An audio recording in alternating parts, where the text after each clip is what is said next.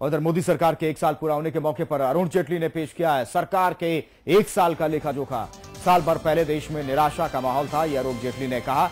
आज पूरे देश में उत्साह का माहौल है। पूरी दुनिया में देश की छवि सुधरी है। बारह महीनों में अठारह देशों में प्रधानमंत्री मोदी गए हैं। देश किस दिशा में जाए, सरकार ने इसको लेकर विवाद भी नहीं है। तेज गति से फैसले लेना सरकार की पहचान है अरुण जेटली ने कहा है, और व्यक्ति के आधार पर नहीं, सिद्धांत के आधार पर फैसले लिए जा रहे हैं। अर्थव्यवस्था में काफ़ी खुलापन आया है। इसके अलावा उन्होंने कहा कि देश को निवेश की ज़रूरत थी, और उनकी सरकार ने इस दिशा में काम किया है। कोयला खदान स्पेक्ट्रम विवाद खत्म कर दिया है। अरुण जेटली ने कहा, इसके अलावा जेटली ने यूपीए सरकार को भी निशाने पर लिया है। पहले निवेशक कानूनी कार्रवाई से डरते थे। अरुण जेटली ने कहा, जल्द ही जीएसटी बिल राज्यसभा में पास होगा। टैक्स प्रणाली में सुधार के लिए फैसले लिए गए हैं।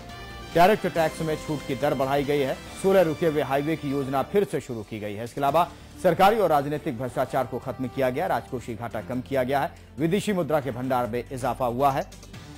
सब्सिडी सिर्फ़ जरूरतमंद लोगों के लिए ही है। आ, सरकार ने यानी कि कुल मिलाकर एक साल का जो लेखा जोखा था उसकी उपलब्धियाँ तो गिनाई ही। साथ ही ये भी कहा है कि फैसले लेने में इस सरकार ने देरी नहीं की है और इस एक साल में भ्रष्टाचार का कोई भी मामला सामने नहीं आया। जहाँ तक इस देश की अर्थव्यवस्था का सवाल है, आज से एक साल पहले एक निराशा का माहौल था। उसके स्थान पर एक उत्साह का माहौल देश में बना है। और कठिन विषयों में भी निर्णय करना और केवल रुकावटें पैदा हो इसलिए निर्णय रोक देना यह सरकार की संस्कृति नहीं रही। जितने भी हम लोगों ने निर्णय लिए हैं, उसमें जो सरकारी या मिनिस्टेरियल डिस्क्रिशंस थी, उन मिनिस्टेरियल डिस्क्रिशंस को समाप्त करना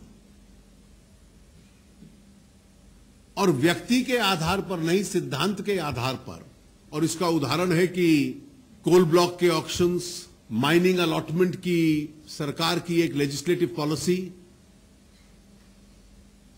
स्पेक्ट्रम एलोकेशन